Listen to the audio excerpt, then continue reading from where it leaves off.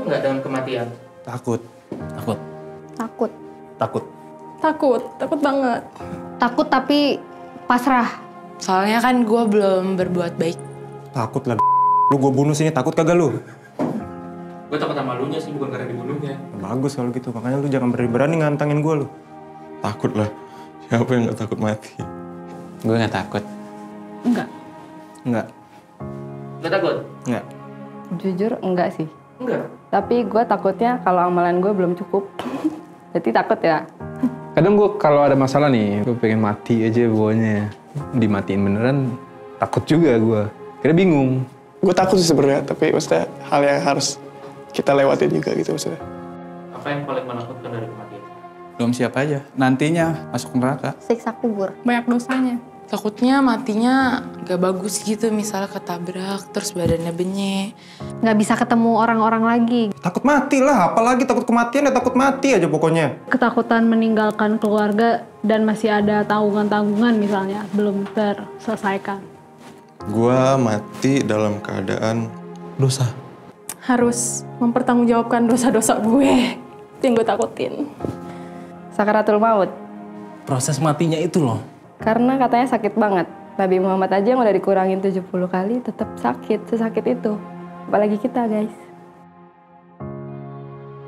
Persiapan apa yang udah lo lakukan sebelum mati? Gak ada sih kayaknya. Gak ada. belum kayaknya. Masih kurang persiapan, makanya masih takut mati. Belum ada kayaknya. Apa ya siap-siap dibunuh? Gue menjalani akidah-akidah yang harus dilakukan sih sebagai karena gue punya agama kan. Kalau buat persiapannya nggak ada. Masa persiapannya kayak tolong beliin Kain kafan yang lahat. besok mau mati kan nggak mungkin tuh kayak gitu.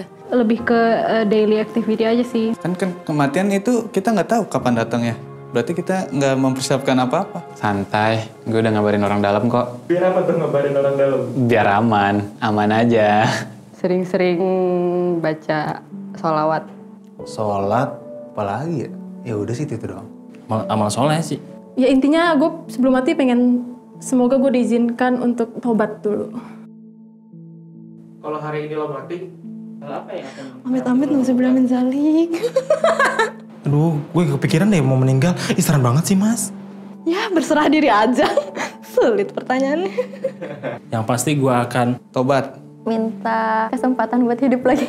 Ngumpulin orang-orang yang gue sayang. Jadi gue mati deket sama mereka semua. Ketemu keluarga. Gue gampar lu dulu nih. Capek gue ditanyain lu mulu nih. Gue ngajak ngumpul keluarga gue sih, gue makan bareng gitu, keluarga besar ya maksudnya. Ya biar gue ngeliat terakhir gitu. Berterima kasih Sama? Tuhan. Berterima kasih sama orang tua, sama saudara. Ya kalau gue tahu gue bakal mati hari ini gue pasti party lah, ngapain lagi? Nikmatin dunia kali. Astagfirullahaladzim. Gue lebih enjoy sih, nikmatin aja hidup lo. Kalau gue punya utang, tolong kasih tahu gue. Gue kan suka lupa tuh. Karena utang kan nggak bisa, lo nggak bisa masuk surga kalau lo belum, kalau lo masih punya utang kan. Nelpon jokap gue sih. Bokap, nyokap, nelpon. Minta maaf kan. Gue mati dulu ya. Apa pesan yang ingin lo sampaikan sebelum lo mati? Pesan apa ya? Ih, kalau ngomong sembarangan. Tapi min zalik, kami tambah cowok bayi, tar dulu. Belum kaya.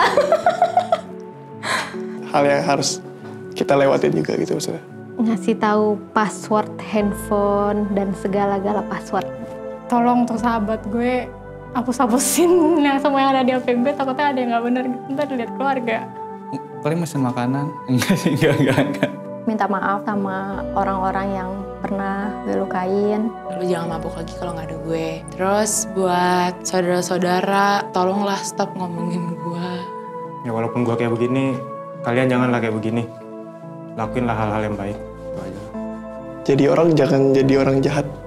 Lakuin baik aja, nggak apa-apa dijahatin orang. Gue kuburnya samping emak gue deh. Yang pernah gue utangin, ikhlasin aja cuy. Sorry ya. biar gue bisa tenang di akhirat Ih mas takut aja jangan itu ah mas. Oke. takut takut kejadian amit-amit Hal yang harus kita lewatin juga gitu maksudnya. Sering makan mie, jangan makan mie, makan nasi. Kerja nyampe malam, jangan kerja sampai malam. Kalau misalnya lo mati suri nih, Iya. di kesempatan hidup yang kedua lo mau ngapain? Merubah kehidupan gue nggak kayak sekarang ini? Perbaiki diri. Hijrah kali ya. Pakai hijab. Berubah diri gue kali ya. Ya tapi nggak mungkin juga gue udah emang kayak begini.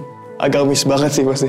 Rajin sholat lah, semuanya gue lakuin supaya pahala gue banyak. Kalau bisa berubah jangan pas lagi mati suri. Gue udah pasti ibadah terus sih, non-stop. Tidak berbuat jahat, tidak berbuat maksiat. Ya kerja, S2, ke mana, ke mana, melakukan apa, melakukan itu. Nggak ada, hidup aja udah enjoy. Tetap gue mau party ya. Gue nikmatin lagi sampai bosan. Naudzubillah min dalik. Katanya kalau mati suri dikasih lihat surga sama neraka. Ya lihat-lihat dulu aja kalau misalnya asikan di neraka ya. Gak tahu, tapi kalau kalau misalnya asikan di surga ya ngikutin aja. Tapi kalau meninggal nih, kan dikubur. Hmm. Kapan sih malaikat itu ada pas di dalam kubur? Ah, kapan ya? Lupa. Nggak tahu gue. Coba lu gue kubur sini. Sini lu. Gue kubur sekarang nih. Kali aja datang tuh malaikat langsung jemput lu. Gak tahu deh gue. Eh, eh gue tau, tau, tau. Tujuh langkah setelah orang ninggalin kubur kita. Katanya 40 langkah dari orang yang ninggalin kuburan kita. Kalau nggak salah ya? Oke, 7 meter deh. 7 meter dari mana? Dari kuburan kita ya kan? Salah ya gue? Mungkin. Nggak tahu. Tujuh langkah setelah orang terakhir ninggalin kuburan. Tujuh langkah pas pengantar jenazah. Tiga apa tujuh langkah ya pokoknya setelah tamu yang terakhir itu langsung dari datengin. Hmm, gitu. Eh, setelah tujuh langkah terakhir, eh, tujuh langkah orang terakhir yang ninggalin makam lo. Itu ya setahu gue ya. Assalamualaikum warahmatullahi wabarakatuh. Pohon pepaya tumbuh di taman. Ngaji lagi bersama saya Taufikur Rahman. Kematian. Dalam Quran surat Al-Jumu'ah ayat ke-8 Allah Ta'ala telah memberikan informasi. Bismillahirrahmanirrahim. Kul innal mauta alladhi tafirruna minhu. Fa innahu mulaqikum summa turadduna ila alimil ghaibi wasyahada fayunabbiukum bima kuntum ta'malun. Katakan kepada mereka ya Muhammad, sesungguhnya kematian yang kalian hampir rata-rata lari. Tapi ingat, orang kaya mati, orang miskin mati, raja-raja mati, orang biasa mati, semuanya bakalan mati. Ya. Nah, ketika kita meninggal dunia, apa pun namanya, memang ada yang dialami sampai saat sekarang pun ada. Meninggal, bahasa kita namanya mati suri. Padahal tetap judulnya meninggal dunia. Hanya memang Allah berikan yang seperti itu sebagai ibrah buat yang hidup bahwasanya kematian alam barzah itu ada. Makanya lihat mereka-mereka yang pernah mengalami mati suri, Al-Fakir punya teman yang pernah mengalami demikian. Begitu sekarang di dunia, ya Allah, untuk urusan yang sifatnya menyolong, urusannya yang sifatnya melenceng agama, udah ogah udah. Kenapa? Ternyata jadi ibroh, dapat cerita dari dia bukan katanya. Lantas yang kedua bicara malaikat. Di saat kita meninggal dunia, Quran surat Yasin ayat ke-65. Al-yawma nakhtimu ala afwahihim wa tukallimuna aydihim wa tashhadu arjuluhum bima kanu yaksibun. Hari di saat mulut sudah tidak bisa berbicara, tangan jadi saksi, kaki jadi saksi. Nah, begitu kita dipendam, ya, dikubur, jadi jangan menafsirkan kalau kita nggak melangkah-langkah malaikat nggak datang. Ini maksudnya hadis durasi yang sangat singkat. Diumpamakan hanya melangkah ukuran tujuh langkah sudah ja'al muwakalani datang dua wakil Allah. Wahuma keduanya munkarun wa nakirun. Namanya munkar nakir. Oleh karenanya kalau mau selamat ingat Nabi menyebutkan orang yang sukses, orang yang cerdas yang bagaimana? Yang selalu ingat mati dan mempersiapkan bekal sebelum datangnya kematian. Bahasa Al-Fakir, nembus obat kemar gonda di antarijal penjaga toserba. Urusan tobat jangan pakai ditunda karena ada datang secara tiba-tiba. Akhir kalam. Wassalamualaikum warahmatullahi wabarakatuh.